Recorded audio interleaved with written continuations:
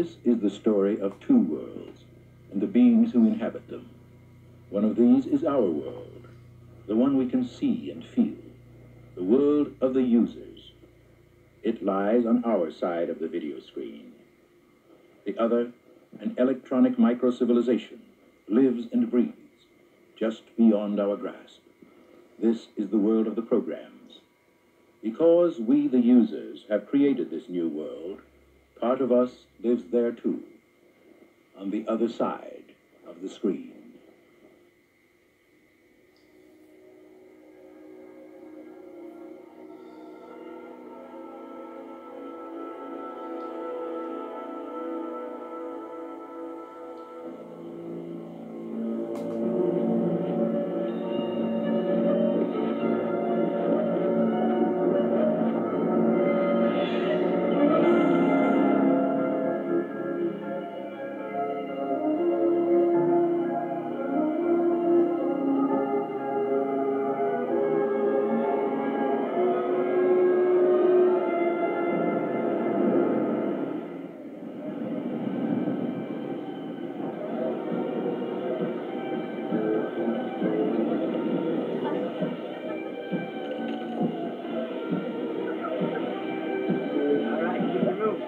up.